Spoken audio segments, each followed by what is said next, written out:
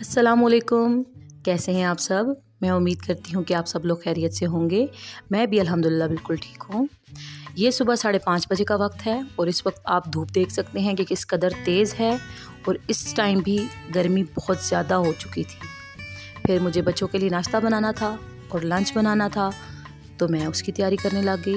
लेकिन मौसम आज गर्म था। पिछले दिनों की नस्बत अब गर्मी ज़्यादा हो रही है।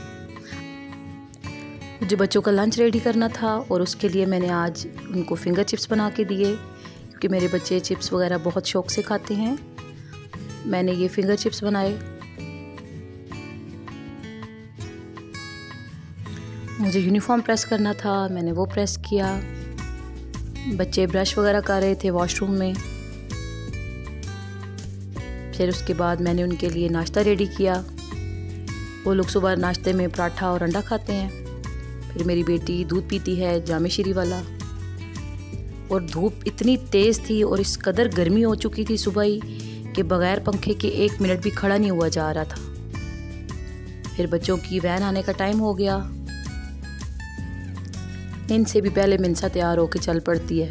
अभी भी मिनसा ने जयान का बैग पहन लिया और कहने लगी कि मैंने पहले जाना है और जयान का बैग पहन के जाना है।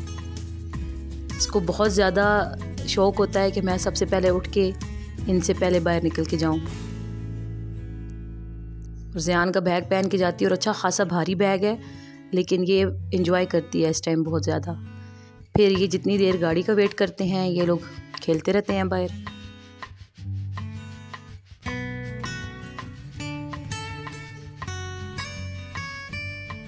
फिर इनकी वैन आ गई और ये लोग स्कूल चले गए।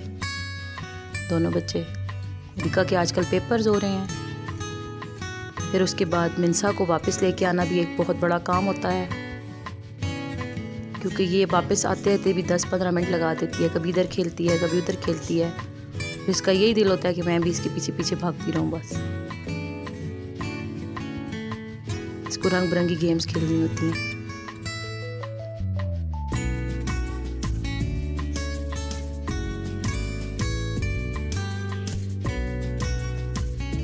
मैं इसको घर में तो ले आई, लेकिन इसको अभी भी था कि मेरे साथ खेलो। लेकिन गर्मी बाहर बहुत ज़्यादा हो रही थी, इसलिए मैं इसको अंदर ले आई। फिर मैंने इसको नहला के फ्रेश किया। फिर इसने मेरे हाथ से कंघी ले ली कि मैं अपने बाल खुद बनाऊँगी। और इतने मज़े से इसने अपनी कंघी की। और बस इसको फिर लाड़ आ गए। फिर उसके बाद मैंने कटलेस बनाए थे तो मैंने सोचा कि आप लोगों के साथ रेसिपी शेयर करूँ। पहले मैंने आलू बॉयल किए। आलू बॉयल करते वक्त मैंने उसमें थोड़ा सा नमक ऐड कर दिया। आपके आलू अच्छी तरह बॉयल होने चाहिए। उसके बाद मैंने दो प्याज लिए, सब्ज़ धनिया,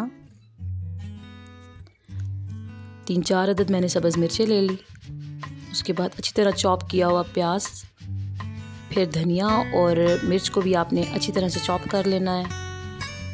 बारीक बारीक काटना है। आलू बहुत अच्छी तरह गले हुए थे, फिर मैंने पोटैटो मैशर की मदद से इनको मैश कर लिया। ज़रूरी नहीं है कि पोटैटो मैशर की मदद से ही आपने इनको मैश करना है, आप हाथ की मदद से भी इस तरह इसको मैश कर सकते हैं। मैंने इसके अंदर अच्छी तरह चॉप किया और प्याज ऐड कर दिया। उसके बाद सब्ज़ मिर्च ऐड की। फिर उसके बाद मैंने इसमें धनिया ऐड किया, जो मैंने बहुत अच्छी तरह बारीक बारीक काटा हुआ था। फिर उसके बाद मैंने मसाले ऐड किए। सबसे पहले मैंने तकरीबन एक खाने का चम्मच इसमें नमक ऐड किया। फिर इसके अंदर मैंने सुरख मिर्च ऐड की, वो भी तकरीबन एक खाने का चम्मच थी। फिर कुटा हुआ धनिया मैंने तकरीबन आधा चम्मच ऐड किया। उसके बाद मैंने भुना हुआ ज़ीरा आधा चम्मच ऐड किया। उसके बाद मैंने इसमें आधा चम्मच गरम मसाला ऐड कर दिया। उसके बाद कुटी हुई लाल मिर्च मैंने तकरीबन खाने का एक चम्मच ऐड की। थोड़ी सी हल्दी भी मैंने इसमें डाली थी और थोड़ा सा चाट मसाला भी टेस्ट के लिए मैंने इसमें ऐड किया था।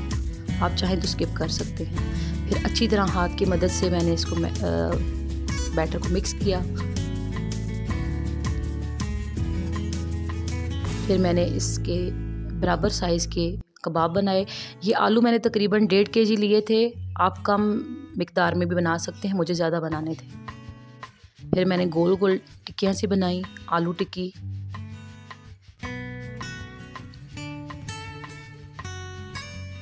आपने सारी बना के रख लेनी है इस तरह। फिर ये मेरे पास ब्रेड क्रम्स थे और इसके साथ मैंने दो अदद अंडे लिए। फोर की मदद से अच्छी तरह मैंने इनको बीट किया। मैंने बहुत अच्छी तरह से अंडों को बीट किया। उसके बाद मैंने जो टिक्कियाँ बना के रखी थी, उनको पहले मैंने इस अंडे में डिप किया। उसके बाद जो मेरे पास ब्रेड क्रम्स रखे हुए थे मैंने एक अच्छी सी कोटिंग ब्रेड क्रम्स की इन कबाबों के ऊपर कर दी। इसी तरह मैंने सारे अपने कबाब बना के एक साइड पे पहले रख लिए।